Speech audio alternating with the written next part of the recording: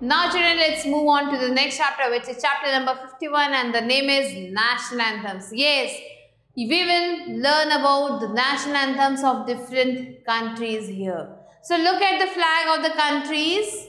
given below and write their national anthems below them. तो यहाँ पे कुछ कंट्री के फ्लैग भी हैं उनके नाम भी लिखे हैं आपको क्या करना उन कंट्रीज़ के नेशनल एंथम लिखने हैं सो ये the first countries China China का नेशनल एंथम है the march of the volunteers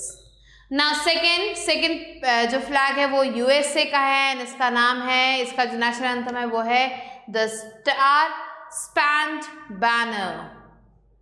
next third one Sweden Sweden का जो नेशनल एंथम है वो है Du Gamla Du Fria fourth one Pakistan इसका जो नेशनल एंथम है वो है क्वामी तराना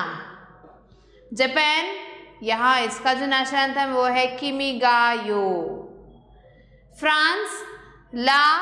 Marseillaise so these are the national anthems of these countries similarly some more countries are given here what you have to do you have to again write down the national anthems so yeah Venezuela next is India जिसका national anthem है, Jana Gana Mana.